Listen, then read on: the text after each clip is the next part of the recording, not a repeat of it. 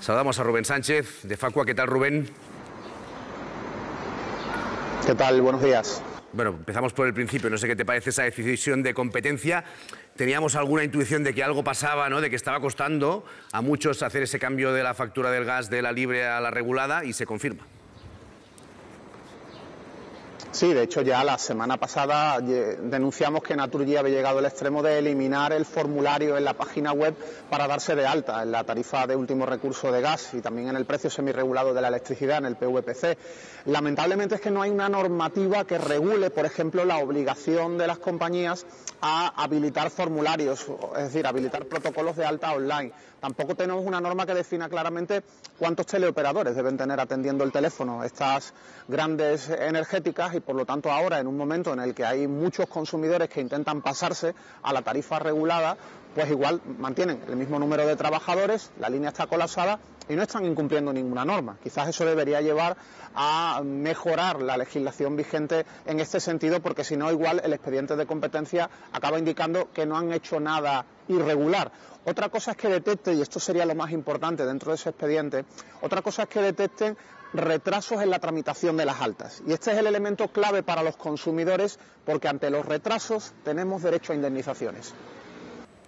Bueno, eh, simplemente hay que mirar en la factura del gas si aparece TUR, tarifa de último recurso.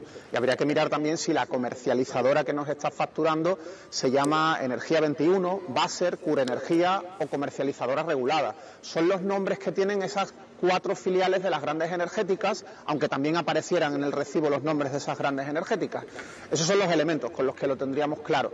De cualquier forma, una vez que lo averigüemos, la cosa es irnos a la TUR, porque seguramente cuando miremos 8 de cada 10 consumidores van a ver que no tienen tarifa regulada, que no tienen TUR. Los últimos datos de competencia del mes de julio decían que no llegaba al 20% el porcentaje de consumidores con derecho a TUR que se habían o que se estaban acogiendo a esa tarifa. Y luego, como te comentaba, si pedimos el alta, eh, hay un posible retraso que sería sancionable de alguna manera, es decir, que tendríamos derecho a indemnización. El alta es mejor pedirla por escrito, a través de las páginas web de las compañías. Si lo hacemos por teléfono, mira, algo tan fácil como instalarnos en el móvil un sistema de grabación de la llamada para conservar la prueba de que justo hoy hemos solicitado ese alta. Y ahí entran los plazos, y esto es lo representativo para el consumidor que debe saber cuándo tendría derecho a que le empiecen a aplicar la TUR. Esto no es pedirla y ya me dirán cuándo, no, no, esto lo dice la ley claramente. Mira, si hoy pides la tarifa de último recurso, hay un plazo de seis días hábiles para que te la eh, digamos, validen, para que la distribuidora de tu zona, de tu territorio, valide tu petición de alta, cotejando que efectivamente has aportado todos los datos de manera correcta. A partir de esos seis días hábiles para la validación, te tendrían que activar el servicio ya, es decir, te tendrían que estar cobrando el precio menos caro, la TUR, el día 1 11 o 21 del mes en el que estemos. Por lo tanto, con esa regla, digamos, podríamos saber a la perfección cuándo es el momento en el que tienen que habernos activado la TUR y si se retrasan, pues por cada día podríamos exigir una indemnización económica, es decir, la diferencia entre lo que sigamos pagando en mercado libre y lo que tendríamos que estar pagando con la tarifa regulada.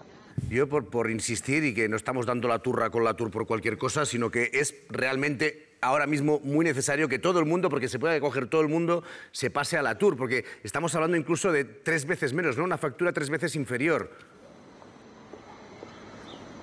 Efectivamente, mira, un consumidor que pague 33 euros pagaría con la TUR 33 euros, estaría pagando en Mercado Libre 100, un consumidor de bajo nivel de consumo el que estaría en la primera tour. Hay tres tours, como lo habéis indicado, la inmensa mayoría de consumidores tienen la primera o la segunda. Vosotros en la Comunidad de Madrid, por ejemplo, posiblemente tengáis la Tour 2 por usar calderas de calefacción. Pues alguien con la Tour 2 que pague 63 euros al mes, si estuviera en el mercado libre, pagaría 200. O sea, imagínate esa diferencia de en torno a los 170 euros multiplicado por los tres meses que nos quedan para finalizar el año. Es que nos resuelve las navidades.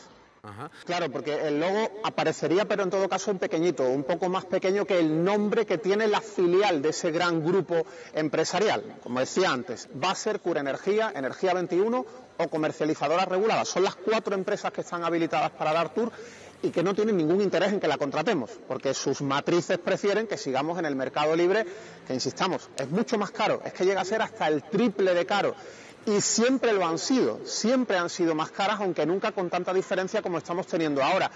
Y nos preguntaríamos, ¿por qué 8 de cada 10 consumidores están en el mercado libre pese a que siempre ha sido más caro? Pues porque nos han engañado de forma masiva a millones de consumidores haciéndonos creer que el mercado libre era más barato. Si hoy llamas a tu compañía y preguntas, te van a decir que la Tour no te viene bien, que es mejor quedarte con lo que tienes. Si te llama algún asesor energético, como se autodenominan las empresas subcontratas que se dedican a vender tarifas de gas y electricidad, te van a decir que no contrates la Tour. Pero es que no es de ellos de quien te tienes que fiar. Se trata de mirar el boletín oficial del Estado, ver las tarifas TUR vigentes, compararlas, como hemos hecho nosotros la semana pasada, con las tarifas de mercado libre vigentes en el mes de octubre y ver esas grandísimas diferencias de hasta el 245% al alza en el precio del kilovatio hora consumido. Rubén, ¿sabes la duda que nos trasladan muchos consumidores, eh, muchos espectadores que nos siguen? Dicen que es que ellos tienen un poquito de confusión con la tarifa TUR, porque al llamarse tarifa de último recurso le da la sensación de que es para consumidores vulnerables. Pero a la TUR puede acceder todo el mundo, ¿no? Es que el que tuvo la genial idea de llamarlo así, eh, igual que la electricidad que la llaman PVPC, precio voluntario para el pequeño consumidor, son nombres que la verdad no ayudan, pero desde luego que se queden como están, que no les vuelvan a cambiar el nombre porque a ver si van a complicarlo más todavía. TUR, tarifa de último recurso, es lo que tenemos que buscar, que no nos quepa ninguna duda, que cualquier familia va a tener derecho, incluso si tenemos un contador, una, caldera eh, colectiva en la comunidad de vecinos, también tenemos derecho ahora, como sabéis, acaba de aprobar el Gobierno un Real Decreto ley para facilitar que esas comunidades de propietarios que no tienen los contadores individuales, que tienen una única caldera para todos ellos, también puedan pedir una tarifa similar a la, a la TUR. A lo largo de, este mes ya se puede, se puede pedir y es algo que los responsables de las comunidades de propietarios, los presidentes o los administradores de fincas tienen que estar ya gestionando porque igualmente es que les va a bajar el recibo una, una cifra descomunal. El ahorro es importantísimo, que no estamos hablando de que te baje 2, 3, 4, 5 euros la factura, que estamos hablando de recortarla a la mitad o a la tercera parte. Rubén, cuando nosotros aquí esta misma semana denunciamos eh, que precisamente había espectadores que nos estaban trasladando que tenían problemas para cambiarse a la tarifa eh, Tour, claro, de ahí fue la secretaria de Estado la que dijo, pues la verdad que tiene que ser competencia quien abra expediente, ha abierto expediente, pero claro, la pregunta es qué va a suceder con ese expediente. Es decir, de entrada parece ser un expediente meramente informativo, no sé si va a acarrear alguna consecuencia, si se confirma realmente que se está obstaculizando el paso de los consumidores a la TUR y cuándo habrá consecuencias.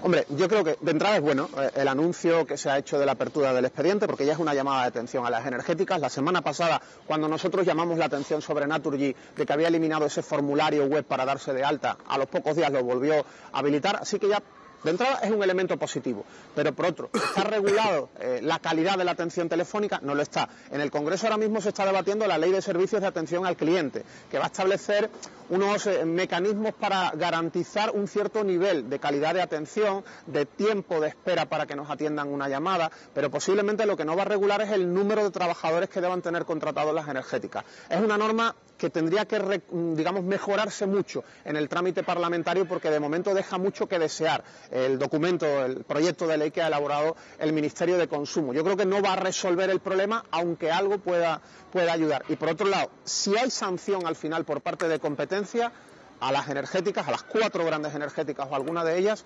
sería porque detectara algún tipo de retraso eh, malintencionado a la hora de tramitar las altas. Bien, en que esos seis días que tienen las distribuidoras para validar los contratos estén convirtiéndose en ocho o en quince, o bien porque a partir de la validación no estén activando directamente la TUR, pues como te decía antes, el día 1, 11 o 21 del mes, el que sea más próximo a la fecha de validación del contrato. Al final de lo que se trata es de que si yo pido hoy un alta, como mucho, mucho, mucho me van a tardar unos 21 días en la activación. Si estoy, digamos, en la peor de las situaciones, si elijo el peor día de la semana y del mes y provoca pues que se tarde lo máximo posible, serían 21 días, uno o dos más si hubiera algún festivo de por medio de lunes a viernes. Por tanto, si alguien dice yo hace más de un mes que pedí la tour y todavía no la tengo, que tenga clarísimo que ahí se ha producido una ilegalidad, una práctica denunciable ante la que podríamos exigir que nos devolvieran parte del dinero de la factura que la compañía Tour tenga que abonarnos una cantidad porque hemos seguido pagando innecesariamente a la compañía en la que estamos en el mercado libre. Rubén, muchas gracias. Un abrazo.